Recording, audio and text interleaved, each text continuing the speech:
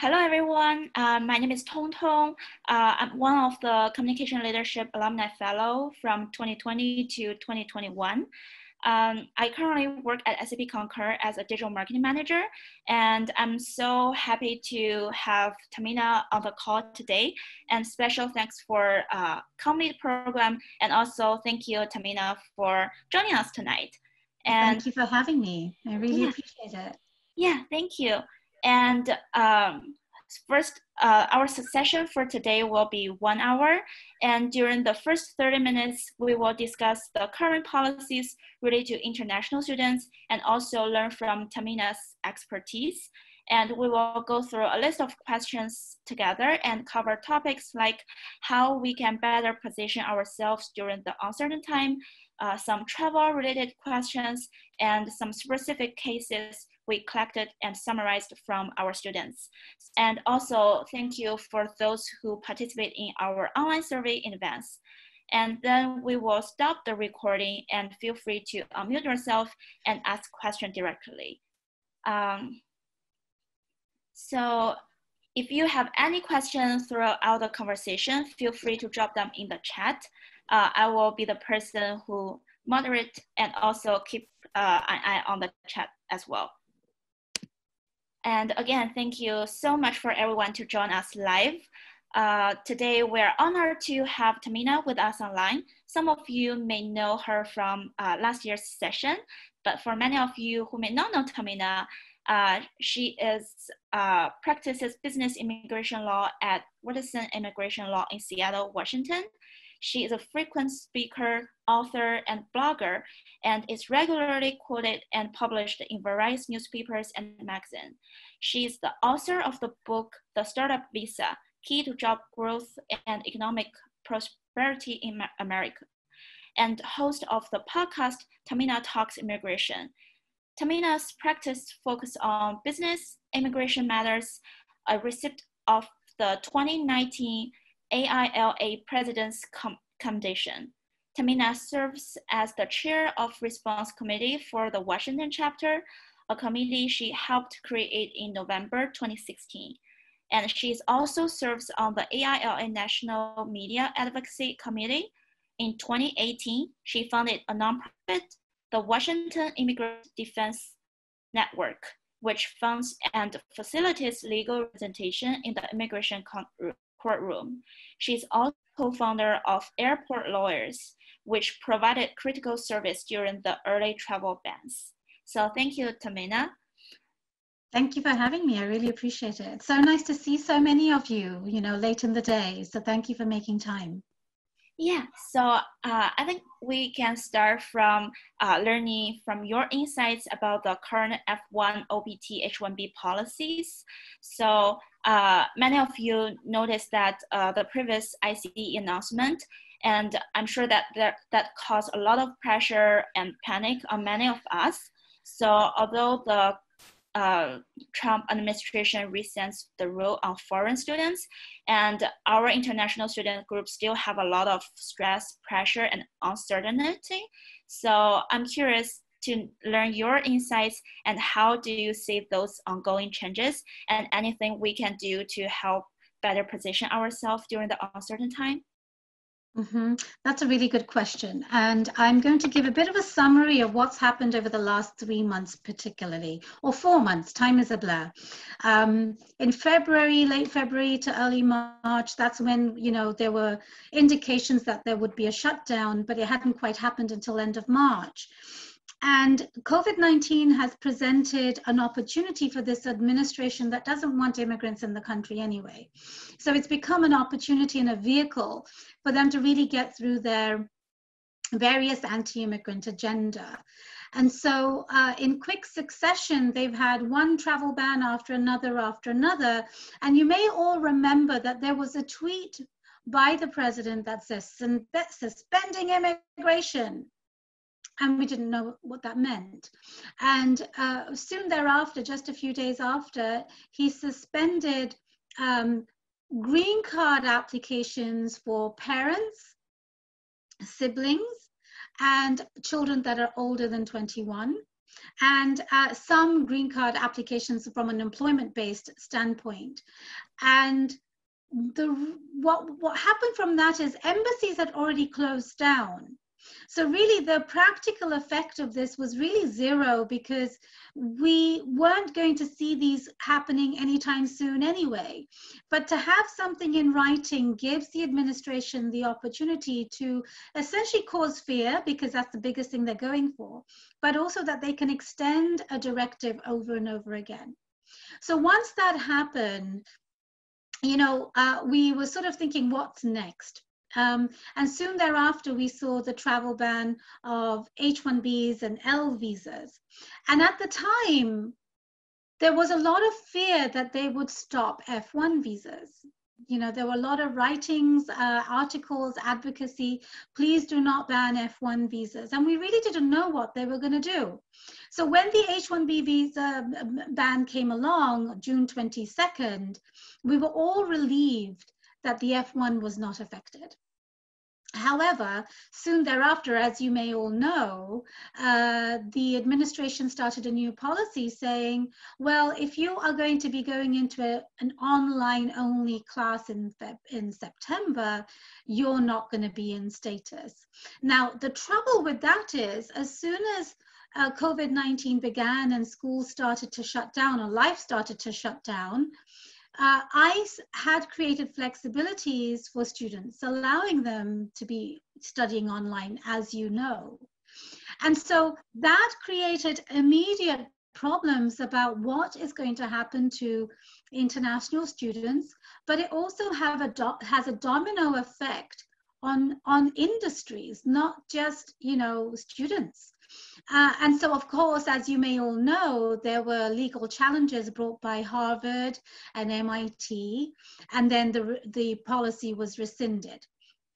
And so there is sort of like immediate relief, but there's concern, confusion, and anxiety about what's next. Because the overall message from this administration to any immigrant is we don't really want you here.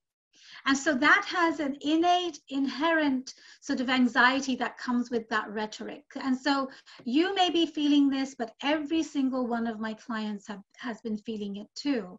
And one of the things that we're seeing is, you know, every every couple of weeks where we have a plan for a client, we need to go back and speak to them and say, well, unfortunately, we need to tweak this, tweak that. I don't think we can do this now. And it's so it's been it's been a challenge. Now, um, for students, we do still worry about what might come.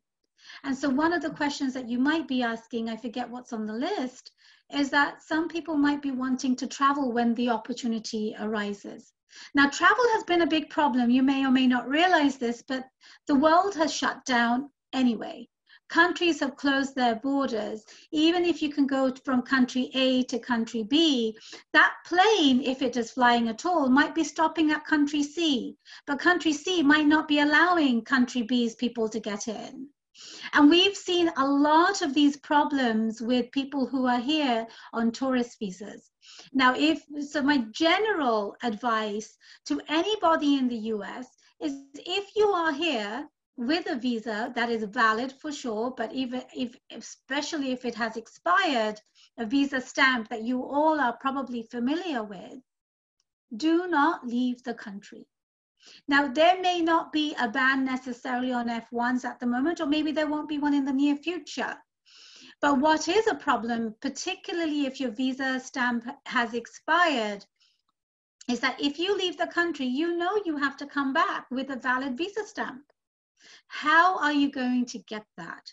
Because embassies have absolutely been closed since mid March, depending on which country it is, and they haven't opened up yet. Some of them are giving emergency appointments to some people, but not you know, all. And a lot of people have been backlogged because their interviews were postponed. Every type of interview you can think of tourist visa, F1 visa, business visa, H1Bs, green cards all these visas have been postponed.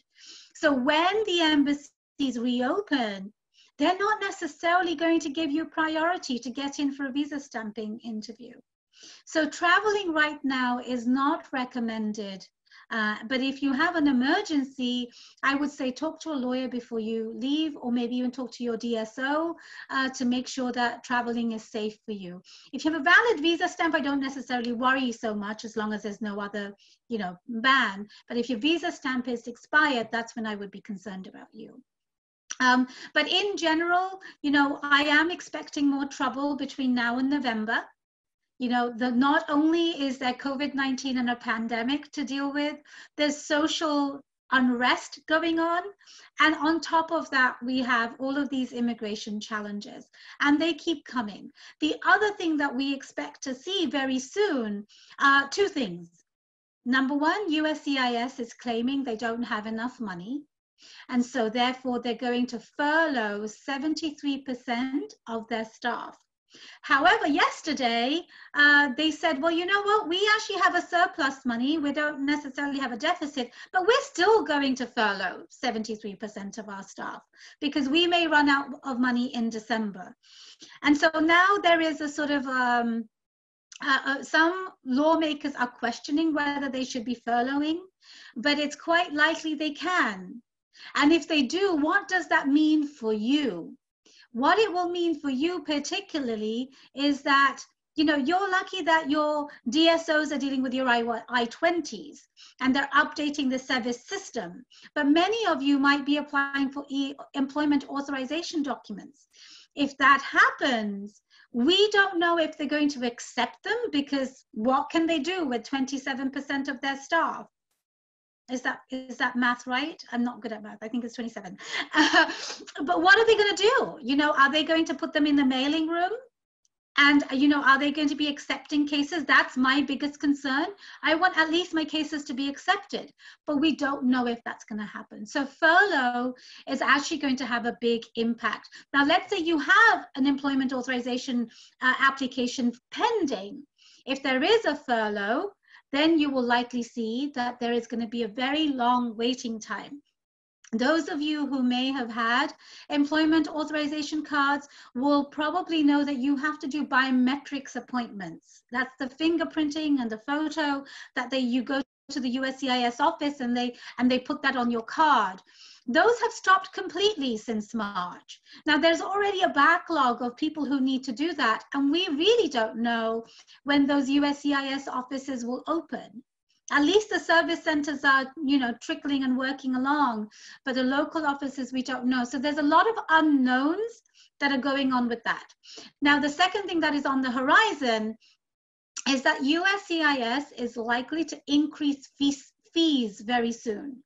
Now, USCIS can't just go up and say, hey, I'm going to increase the filing fees. And just so you know, USCIS is a an agency that relies on the filing fees. That's how they pay their employees. That's how they run the agency, and that's how what helps you get an adjudication. But in recent history, they've been sending ridiculous requests for evidence. They're wasting a lot of time asking questions that they shouldn't be. And staff time is being used up unnecessarily. So if they have a surplus, it's because they're not being managed properly. Um, but it has given them a, a, reason to say we need to increase this now. You, so you can't just increase, you've got to go through a process. Uh, rulemaking process requires you to send a proposed uh, document through the uh, Federal Register. People get a chance to actually um, uh, public comments and they have to read all those comments and then the government has to take them back and then make a final rule now we didn't really know when that was going to happen. We thought it might happen in the fall but because they're they're basically claiming we don't have money they're trying to really push it through. And it's possible that it will go through very very soon. It could be as soon as next week. One of the clearing houses that they have to go through happened today which means it really is imminent. And that means all filing fees, including EAD fees, will go up. And on our blog, uh, which is www.watsonimmigrationlaw.com, we have a blog post with just the fee increases, so you can go and see what they are. So there are a number of changes that are coming, and uh, some changes we just can't necessarily um, predict, but we know more is coming. So you need to be aware. You need to keep your eye on the news. You need to be in close communication with your DSOs. And wherever you get your news, I would suggest that it's not a bad idea to sign up to our blog. You know, if it's not relevant to you, you just delete it. But we write about things that are important to our clients, uh, a lot of the business visas that you would likely be interested in, but general immigration issues too. So sign up so you can get them. Um, uh, we also have a newsletter. I'll make sure that you know the link is sent to Tong Tong. So I, I think that's the generic view. I hope I haven't taken too much time, but I think it's important for you to have a, an understanding of where things stand. Yeah, yeah. Thank you so much for sharing. I think you provide us a clear timeline what things happened during the past few months, and you also mentioned there's challenges happen maybe in the next step. So regarding all the challenging, so I'm curious for some of our international students, they will graduate in December.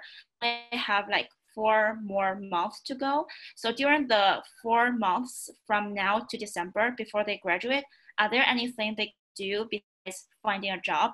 So are there anything they can prepare in advance and like apply the OPT uh, early than before? A very good question. If you're graduating in December, uh, uh, I forget how far in advance you can apply for the OPT. But what is very important that you speak to your DSO so the OPT applications can at least be prepared so that the day the window opens, you're not wasting time preparing. And mm-hmm. that's something that's quite common in our office. Sometimes, you know, somebody's visa is going to expire and we're sort of looking down the road thinking it's going to take six months to approve because premium processing doesn't exist. You've got to look at the calendar and you've got to walk backwards. And so I would urge you to speak to your DSO and say, hey, what do I need to do this? Give me your checklist right now, and you diligently prepare the things that you need to do. Uh, um, what is going to be important is that the fee increase can go up anytime and that you have no control over that you know it is what it is and you, will just have to fork that out um, but for the 12 month opt you don't necessarily have to have an employer already ready at hand but with the STEM OPT, I believe you do. And so it depends on where you are in all of this, you know, um, stages. But it, my guess is most of you might be looking at the 12 month OPT if you're graduating. And if that's the case, very much uh, keep in contact with your DSO and maybe have a group meeting like this so your DSO can talk to you as a group. It's efficient and she, he or she can give you the information that you need. Now, jobs. Um, it's a difficult time in this country. You know, there are 44 million um, Americans without jobs. And one of the things that's important for you to know is that you are inherently skilled workers. Uh, you have talent and you have skills that employers are often looking for. And so you do have an edge over people and you've got to basically make sure that you utilize this time to find the jobs that are appropriate for you. And what is important for you to know is that when, let's say you do get apply for the OPT, uh, you may not get it for some time because of the backlog, everything I just talked about. I, I simply cannot predict how long any application will take post COVID 19. Things that used to take four months and are, were already taking eight months. And we just don't know what the ramification will be for the back end, particularly if there's a furlough, particularly if the, if the pandemic continues, which it likely will. So you've got to plan those and you've got to sit down with your DSO and you've got to sort of look at the clock between January onwards you know if the application is filed let's say you know september or october what happens? And i think if you have that application pending you can stay here you know while it's pending. But you know how long are you going to be doing that? You know and there's uh, you know is your employer going to be waiting for you? And so you've got to do a lot of negotiations with your employer if you have one. But one thing that's going to be very important for you to know is it's a good time to negotiate h1bs as well because before you know it let's say you are going to have an opt from january it will expire january 2021 what happens, uh, sorry, 2022. So what happens then? And so for some of you, and let's say somebody has an OPT already, what's going to happen to them when their OPT expires? So you want to negotiate the H-1B visa at the outset so that in um, you know, this year was a big change in H-1Bs. We, it used to be that you file it April 1 with a big petition and you wait for the lottery.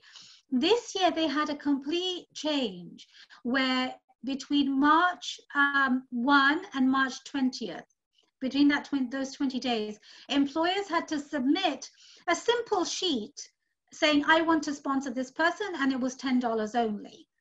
Um, and so a lot of uh, employers did that, and some people got selected, some didn't. And if you're not selected, then you can plan, you know, April onwards. But if you are selected, and let's say your your um, OPT is expiring between April and September, you can ask for cap gap. You know, but if you do not have cap gap, um, you, you, you know you have to stop. You have to stop working when your EAD comes, you know, to an end. But one of the things that's going to be important is you want to apply for an H1B next year because you may not have the chance next year, the following year. You've got to secure the following year right this moment. So while you're looking for a job for EADs uh, under the OPT system, you've got to also see if you can in tandem talk about the H1B. Got it, got it. Yeah, a lot of useful information. And a few follow-up questions. So to clarify, so complete program two uh, majors all count as STEM major, and we will have 12 months uh, OPT, and then we will have a another OPT extension.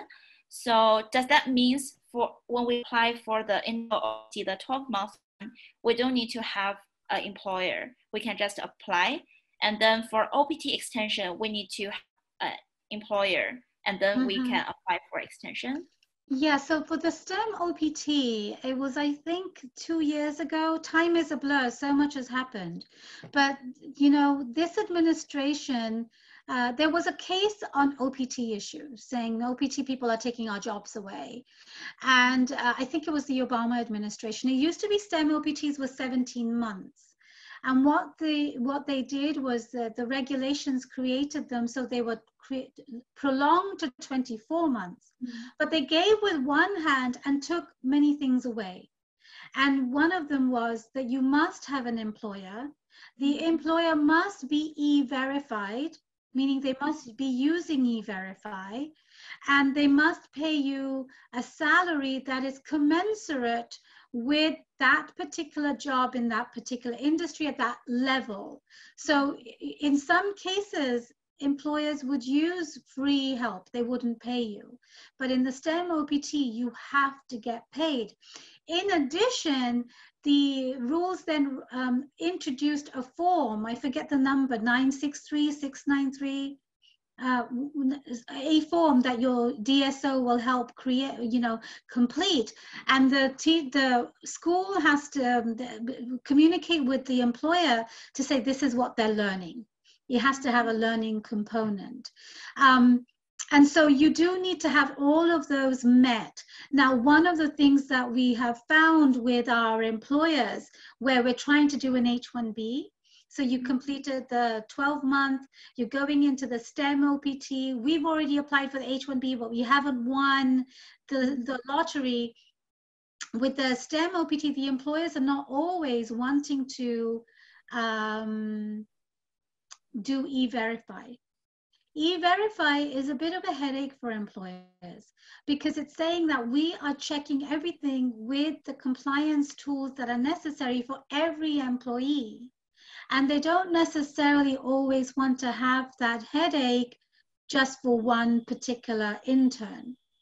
And so we have found, particularly in recent history, that some employers have backed out of the STEM issue, leaving the student in a, in a sort of a lurch, thinking, what am I going to do next? And so those are some of the things to watch out for, that when you're talking to the employer about an H-1B, you might want to learn if they are E-verified or not. And one of the things that happens is 12 months seems like a long time from this end but it becomes 12 months at the back end so quickly that if you haven't prepared and got your ducks in a row, you're going to find yourself in a difficult situation. Mm-hmm. Got it. Got it. Yeah, and also you mentioned the like this year uh, between March 1st and March 20th, uh, employer can submit uh, a sheet to support uh, uh, international student H-1B visa application. So I'm curious, what do you think is a good time that we should start the conversation with the employer, ask about H-1B sponsorship? And are there any other resources you can share for us to introduce the visa to the employer may didn't have any pre-knowledge about that? Yes. Um, so number one, I would start the conversation as early as possible. One of the the the application is always the employer's application, mm-hmm. and so they have to basically sign their life away that we are going to comply. And the the OPT salary, let's say you're an intern, so they're paying you an intern salary. Suddenly they have to up the salary because H-1Bs require a minimum salary for a particular job in a particular location. So let's say you are working in New York City at an entry level job and you're a doctor, your entry level salary might be $120,000. Mm-hmm. Whereas as a as an OPT person, you might be getting $80,000. Mm-hmm. Where, so and that's a big jump for an employer for in let's say kansas city in the middle of nowhere that starting salary might be $90000 do you see what I'm saying? So there is a very big um, jump sometimes in the salary that makes the employer think twice. Um, the second thing is there are costs involved in an H1B. Even if you want to pay the employer, they're not supposed to take your money. They're supposed to pay for the attorney fees, which can be anywhere between $3,000 and $6,000, depending on the law firm. Um, the uh, and then if there is a request for evidence, there is more money to pay for that. But the government fee currently, uh, there are three components: 460 plus 500 plus 750 or 1500, depending on if you have more or less than 25 employees. And the, all, all of those costs have to come from the employer. So there is a financial burden that is attached to this. And so your job is to prove yourself worthy of, you know, being part of their team. Um, and so the other thing that happens is there is this analysis that has to happen before they even submit the sheet to the lottery. And what we found actually this year, a lot of people did it on their own because they thought, ah, it's just one sheet. I'm just going to do it. But they don't necessarily realize there is a lot of analysis that goes in before we even know are you in the master's cap or the bachelor's cap? Just because you have a master's degree in the US doesn't necessarily mean you'll be in the master's cap. You have to come from a school that is um, accredited. So we have to then go and look at the university to see if you are indeed accredited because if you are not, then we cannot put you in the master's cap. Um, some people have sort of mistakenly thought, well, you know, I did, you know, this PhD sort of work, uh, and therefore I am to be in the master's degree cap. That doesn't fall into the master's degree cap. There's also a salary um, analysis that happens. What is your location? What is the responsibility? Are you entry level? Are you um, doing a little bit more than entry level? Are you supervising people? All of these will add different levels of salaries. And one of the things that trump did as soon as he came into office and you may or may, may not remember this there was an executive order in april 2017 that said it was called buy american hire american. And it was very simple they said um, the answer is yes for the UW graduate programs. UW is an accredited school. Um, but the, the Buy, Buy American, Hire American said uh, you have to hire the brightest people and the highest paid. And initially I thought, well, you've got to have these in regulations. You can't implement this. But soon we saw that the government was questioning the salaries through um, all of their RFEs. RFEs are requests for further evidence. And, you know, they would say, do you really, is this really a level one, you know, salary? Show me the job description. And so that really made everybody tighten up this analysis that was necessary to do. And so there's a lot that goes into it. Um, and all of this work, you know, you really should start talking to the employer September, October, uh, and the working on it December-ish, if not sooner. Now, what do you want to tell the employer? What does an H-1B entail? So for any work visa, I want you to think about three headings. I don't know if you can see my fingers. um, uh, three headings, the employer, the employment, and the employee. The employer means that the government wants to see, are you a real employer doing boring employer stuff? Do you have an office? Do you have an organizational chart to show all of your staff? Do you have a license to do that business? And do you have, um, do you pay taxes? Do you pay taxes to the government? Do you do payroll taxes? These are some of the common documents that we need. We need an office lease. Do you actually have a space where your people are going to be working? Show me the um, layout of the, the floor plan. We want to know how much square footage mm-hmm. for your people. So that's the employer. For the employment, any work visa, not just an H-1B, any work visa starts with the employment. What we say to the employer is, please write down the job description because so we can see what the code is because every mm-hmm. job description, uh, the Department of Labor has a code attached. They have every mm-hmm. job out there and they have a code attached to it. And that code tells us what the salary is. That code will mm-hmm. also tell us, do you need a degree to do this job or not? Now, if the Department of Labor says, you don't really need to do have a degree, then that H-1B is not a viable H-1B. So for example, in recent history, marketing positions have come, come under challenges. And the reason for that is there are a lot of people who do self um, teaching on various software programs, Google Analytics. Uh, computer programmer is a good example. Computer programmers these days can learn software, you know, through various open software programs and your computer doing a computer program. You don't always need a degree to do that. So the government downgraded that to say, well, you don't need a degree and therefore you can't have an H-1B. The starting point of an H-1B is you must have a bachelor's degree that is the equivalent of a bachelor's degree of a US bachelor's degree. So a lot of people who come from different countries might have a bachelor's degree in whatever subject matter and then come to the US to do a master's the starting point is really that bachelor's degree from that other country that needs to be evaluated. And that's what we need to know as the starting point. Uh, so that's the employment. Then the employee. Do you match the description and the background necessary for this particular job? So me as a lawyer, if I try to get an H-1B on doc, as a doctor, I'm going to be rejected because there's no nexus to the job and the, the, the, background of the person. And so you can, if you can remember three headings, you can give this sort of summary to the employer saying this is what they want to know. And one of the things that you should know is employers don't necessarily want to share their finances with their employees. But finances are part of a, a, compulsory requirement for the government to know because they want to know that you have enough money to pay. Now, one of the things that comes up for um, students or some businesses actually, let's call it um, a vendor that does IT consulting. But this type of model works in different type of businesses where they have an employee, but they're sending them to Microsoft um, campus. That's called third party uh, work sites.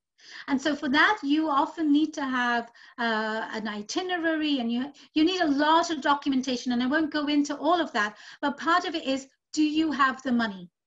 And the government started to ask these questions Do you have enough work for this person? Is it your employee? But they changed those questions around to people who are not going to different offices to say, Do you have enough work for this person? So then we have to show contracts with their clients and their revenue stream. So when you're trying to explain it, you want to rely on those three headings and break it down to them. So they're not necessarily surprised, but what you can say is say, well, you, you don't have to share your finances with me. You need to share it with the lawyer so that the lawyer can share it with USCIS and it, all of that will be confidential. But those are some of the roadblocks that come up um, frequently. Got it, got it. Yes, super us. And uh, also a follow-up question. Um, many companies, they may also have their uh, attorneys or like legal team, but for some uh, company, they may not have a team to support the employees. So for many of us, if we want to reach out to uh, immigration attorney to prep for the OPT or H-1B visa or other visa are there any or research we can do on our end? Absolutely. Um, you know, there there is a website called American Immigration Lawyers Association, AILA, AILA. They have a, a, search engine for lawyers. You can put your zip code down. I'm, I'm assuming all of you are here in um, in Seattle. But just in case anybody's listening to this that are not in this location, you can go to that website and put your zip code in and you know do search terms, excuse me, and you will have a list of lawyers come up. And then you can search those uh, from that to see if they can help you. Um, you know, we start talking to people for H1Bs starting around September, believe it or not you know and you're right a lot of businesses particularly big ones will have internal in-house legal teams or law firms that they work with very closely but a lot of them don't. And what we find is we start the conversation with the employee the employee brings the employer in and then we get moving and get them started and that's how often we get hired. But, but you have options and it depends on what your situation is going to turn out to be. Um, there is a question on an H4 and I'm going to answer it because we might run out of time.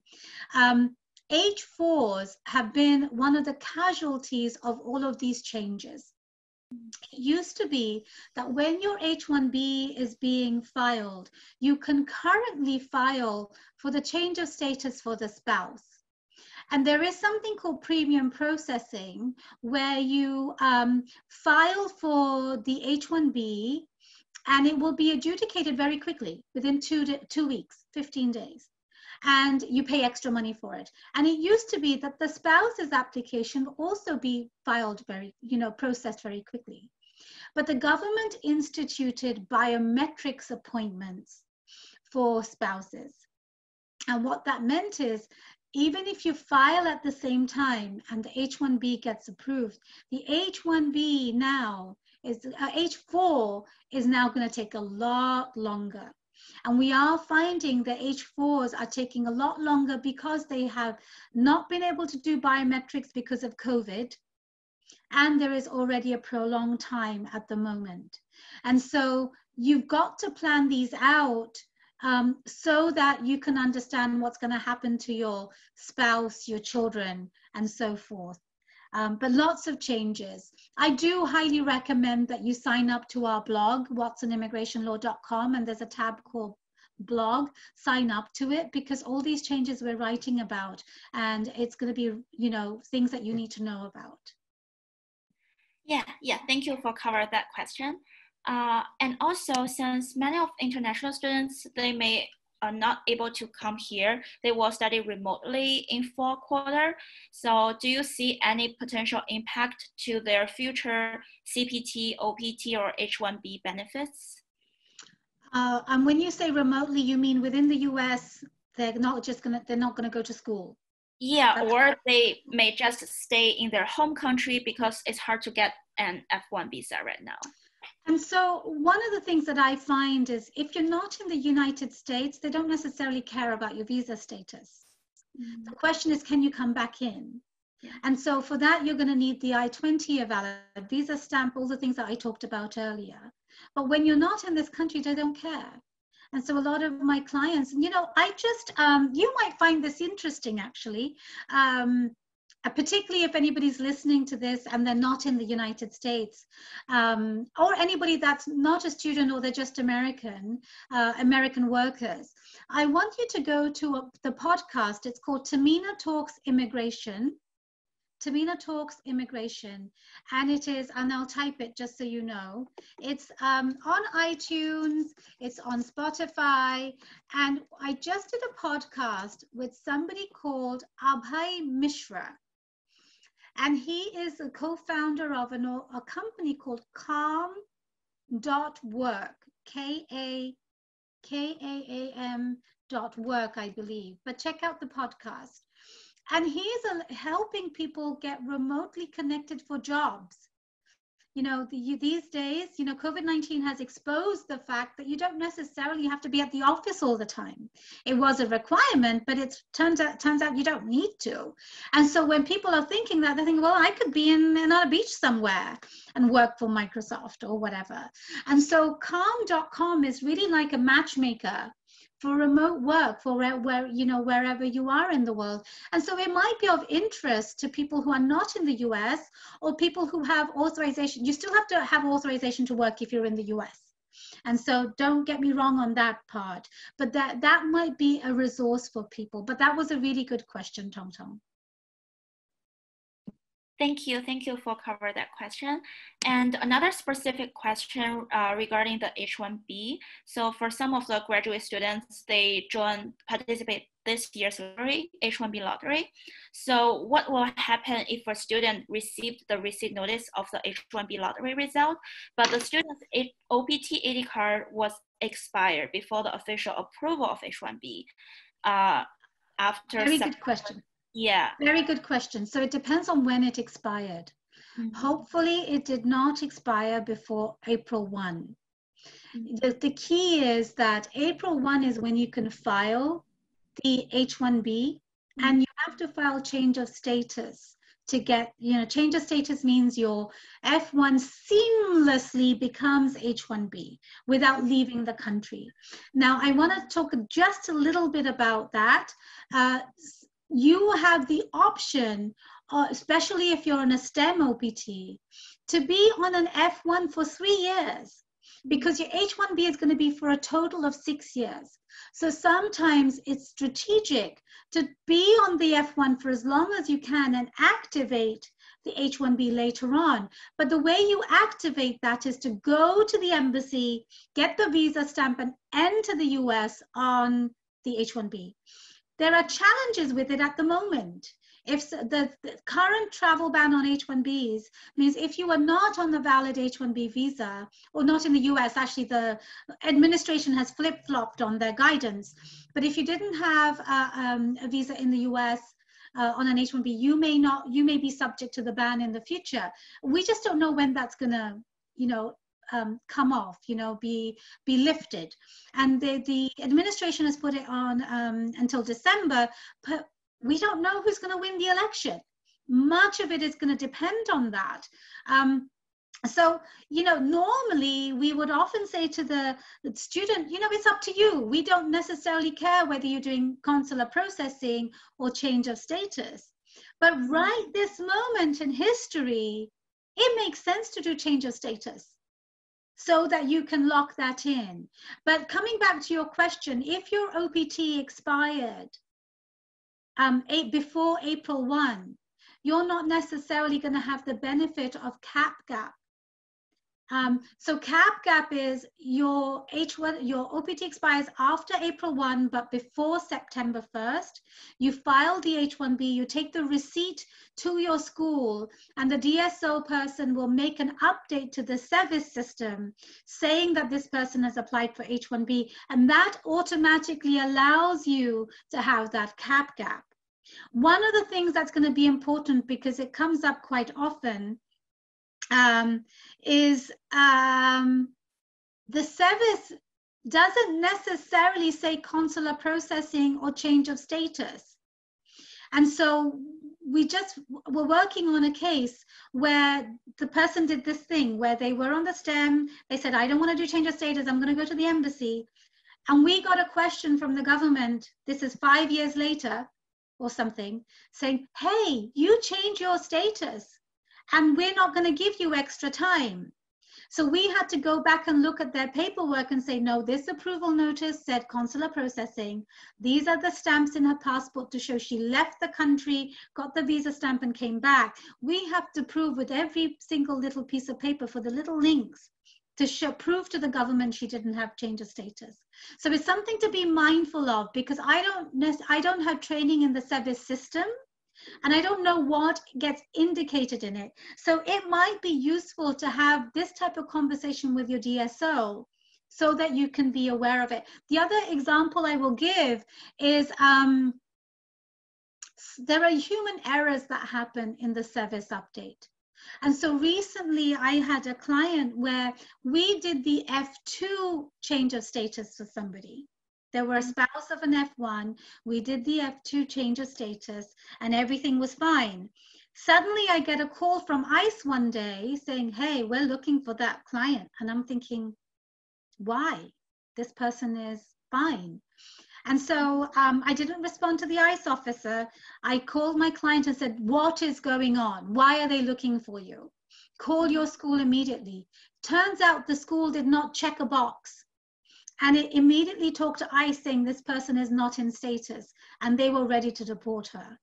So human error can have a big impact and you've got to sort of keep in close communication with your DSO to understand these little things.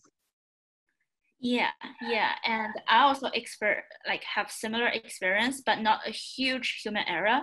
When you got your I twenty or every documentation, just make sure double check yourself. Mm-hmm. Very good. Yeah. Yeah. Yeah. Very much. So. Uh, and also another question related to, you mentioned the important to have the valid EAD card, like OPT status, but how about F1 visa? So do the students need to have a valid uh, F1 visa in order to eligible for OPT extension or H1B benefits? Um, you know, that's the thing that the administration wants to change there was a different policy. Um, time is a blur. I think it was late last year, earlier this year, where the government said, one of the things, if each of you look at your passports and there's something called an I-94, if you're not familiar with it, you must be, you go to the cbp.gov, cbp.gov, and you will look for the I-94. And that tells you what kind of visa you have to be in the US, when you arrived, and when you must leave. And for students, the when you must leave portion always says D slash S, duration of stay. That means that for as long as you're studying, you're completely okay to be here. So that determines your status. The visa stamp, on the other hand, that you would have gotten by going to the embassy and they put a little sticky thing in your passport, that has an expiration date. But that allows you to enter the US. You entered when it was valid. Even if that expires, you're allowed to still be here. That is the current law. Your I 20 has to be valid all the time. So when we are preparing H1Bs, we want to see every single I-20 to make sure that every step that you've taken in the last six, seven, eight years, there was an I-20 that was valid for that period. Because we have seen the government ask for questions. They will say, show me all the I-20s. Um, you know, there was a time where I would only send the current one. But because we started to get so many questions, it wasn't worth waiting for a question from the government, it just made sense to give them all at the at the beginning. And so the Trump administration is really trying to change the duration of stay part of it because they don't want students to be here forever. And they were saying if you stop studying, if you um, you know stopped working, uh, you're and that's the policy that was you know um, enjoined, meaning the court said you've got to stop it. Um, but they are going to try to do something with that. So again, keep an eye on the news because this is a volatile area. Um, I was going to say something else on that, but I forgot. But that's that's the main gist of that. Yeah, no worries. So uh, we have seven more minutes, and I will cover the final question from uh, my set. And the meantime, feel free to drop any question in the chat box. So I noticed that there are some of the students or like people within the meeting today, or like um, during the past few months, they are very clear about uh, how internationals, uh, how the, uh, the policy will change international students the future. So during the uncertain time, are there anything that uh, our family, friends, or people who want to show support can help international students? One of the things that, um, first of all, I mean, I will give you concrete things that your family and friends can do. Mm-hmm. Uh, advocacy is so important you all are living in this jurisdiction. You are allowed to call congressmen, senators, congresswomen. It's very important to have your voice heard. Um, and oftentimes immigrants feel like they can't say anything, but you still can. And you want to get your voice heard. Representatives want to learn what their constituents um, want. And so you can do that. But if you have family friends who are green card holders, US citizens, they won't be afraid. So you can say, call your senator and say, advocate for student visas or whatever your your issue is well you know immigration reform in general and so one thing is for them to call their representatives and ask for immigration reform protect student visas and so forth the second thing is that and i just don't know how this is going to play out because it's very new have has has everybody heard about public charge? Has anybody heard that term yet? Public charge is basically the government saying, and you're familiar with it without knowing the name. Uh, public charge is basically the government saying, we want to see you have enough money to pay for yourself and your schooling, and you're never going to get public assistance. As, as international students, you are always showing your funds to actually get the visa when you get to the embassy, or if you're doing like anything with USCIS, you know, with a new F1 or whatever. February 24, 2020, just before the pandemic, the government implemented this new policy. And it applies to everybody. It primarily is trying to weed out immigrants who want to get a green card and so they have to go through a very uh, difficult process to fill out new forms to show um, I'm never going to get public assistance. And that requires showing you know English, you have an education. It's, it's, it's actually a, a, long list of things. And if you're interested, the form is called I-944. And it is worth looking at, Google that or look at the USCIS website. Um, it's a difficult challenge. But that has gone into almost everything. When you're doing a change of status so anybody doing an h4 they will be using a form called i539 for example. And that form will essentially say have you ever had any benefits? Now you might be saying no but they also might come back and say i want to see the money. One of the things i often say to almost all my clients in almost every context the movie Jerry Maguire had this very famous line saying, Show me the money. Really, it's like that. Depending on what kind of visa it is, you've got to show them the money. Whether you're the H 1B employer, you've got to show them the money that you can afford to pay the salary. If you're getting a green card, you've got to say, Show me the money I can afford to pay for myself that could happen. We haven't seen any practical cases yet, at least in my office, but I don't think anyone has because it went in implemented in February and March came along and everything shut down. So I don't think anybody has got real life experience on it, but it might be that you will have to ask your friends and family to potentially show financial sponsorship. Not sure yet. And so even if they do, I don't know how that's going to be accepted but these are some of the challenges that are coming down the pike. And so it's important that you are staying abreast of it.